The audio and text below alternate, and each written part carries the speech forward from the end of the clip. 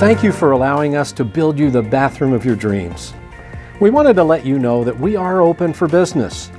And because your safety and protection is of utmost importance to us, we thought you'd also like to know that our installation procedures are COVID 19 compliant per the CDC. So, what does that mean for you, the homeowner? Well, first, before our certified installers even come out to your home, we put into practice social distancing by staging product pickup at our facility individually for each installer.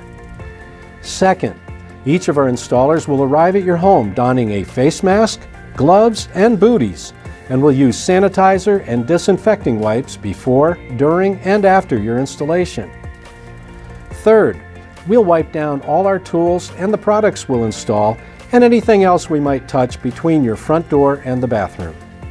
And lastly, once your installation is complete, we'll clean up after ourselves and wipe down everything as we leave the house. On behalf of our entire team, thank you for entrusting us with your project. We appreciate your business and we hope you'll enjoy your new bathroom for many years to come.